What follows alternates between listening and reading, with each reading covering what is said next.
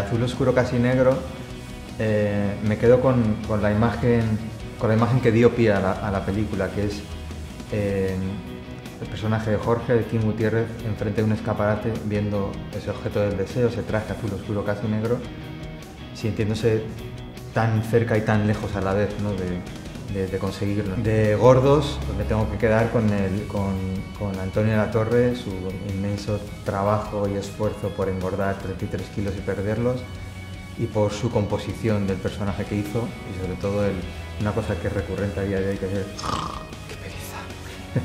que lo dice y a partir de entonces ya es una cosa que sigo utilizando con él constantemente. De primos, pues me quedaría con el monólogo de Kim, que creo que es probablemente el momento más brillante de interpretación de toda mi filmografía y no es por culpa mía, es gracias a él, porque desde que Kim cogió ese monólogo y lo hizo suyo, yo cada vez que hacíamos una toma eh, terminaba y le aplaudíamos porque era una demostración de un talento, de un control de las emociones absolutamente increíble. Diego, no puedo casarme contigo. No puedo, no quiero. De la gran familia española, pues fíjate, eh, me voy a quedar con otro momento de, Kim, que es el, momento final. Eh, Kim cuando tiene que coger las riendas y, es como el momento Michael Jordan, ¿no? de coger las riendas del equipo y tirar del carro es, inigualable. Entonces recuerdo que el final, toda la confesión que le hace el personaje de Kim a Verónica Chey.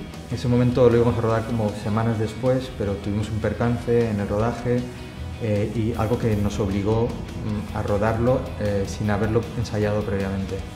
A mí casi me da un ataque de ansiedad porque era algo que yo iba a ensayar con Kim, que vamos a tratar con mucho cuidado. Entonces hablé con Kim y me dijo, no, yo me lo sé, yo me siento capaz de hacerlo. Y dije, ¿seguro? Sí, seguro.